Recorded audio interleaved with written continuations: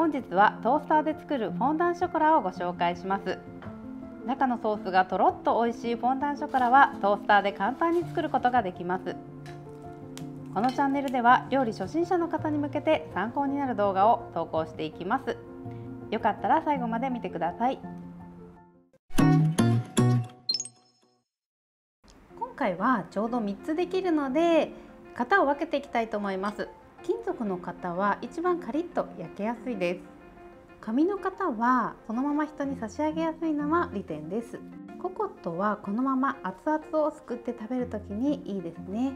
型にくっつかないようにバターを薄く塗ります。ガナッシュを作っていきます。ガナッシュとはチョコレートと生クリームを混ぜ合わせて作るクリームのことです。コアントローなどのお酒を入れても美味しいですが入れすぎると固まりにくくなるので少量にしてください。使うチョコレートは割れる板チョコタイプだと簡単です。だいたい1枚 50g のことが多いので今回は2枚ちょうど使って作れるレシピにしています。ミルクチョコレートだとこの配合では固まらないのでブラックチョコレートを使うようにしてください。ボウルにブラックチョコレートを割り入れて生クリームを加えて湯煎で溶かしていきます。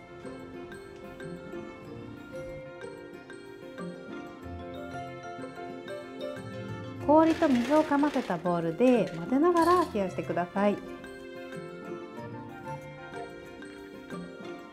まとめられる硬さになったら3等分に分けてラップで包みます。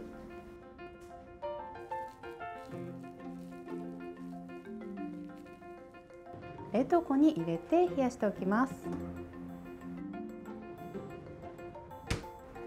ブラックチョコレートとバターをボウルに入れて湯煎で溶かします。湯煎する時なんですが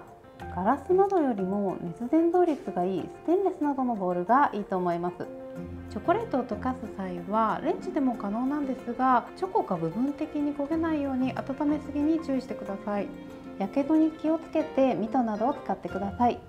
お湯に置いている状態だとかき混ぜにくくて誤って水が入ったりしがちなのと温めすぎると分離してしまうこともあるのである程度溶けてきたらお湯から外して混ぜると余熱で溶かすことができます。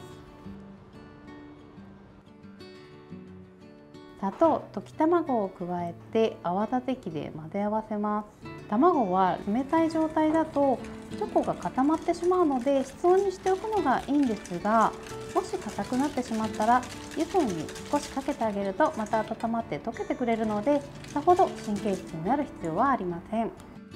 そして薄力粉を加えて均一に混ぜてください。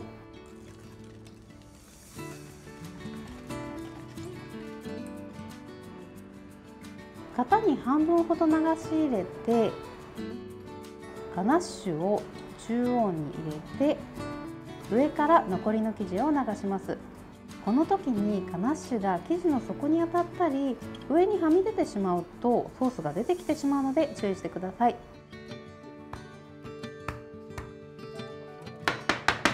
180度のトースターで10分ほど焼きます。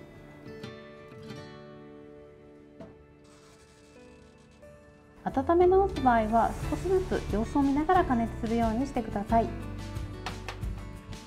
そして型から出してあげるかこの器のまま皿にのせて盛り付けてください。こうした方はどれも100円均一にあるものですが家にない方は紙コップなどでも採用可能です。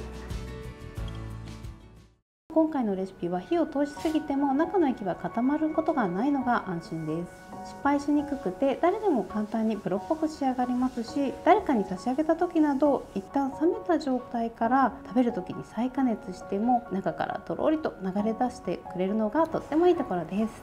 すごい美味しいです。レシピは概要欄にありますので是非参考にしてみてください。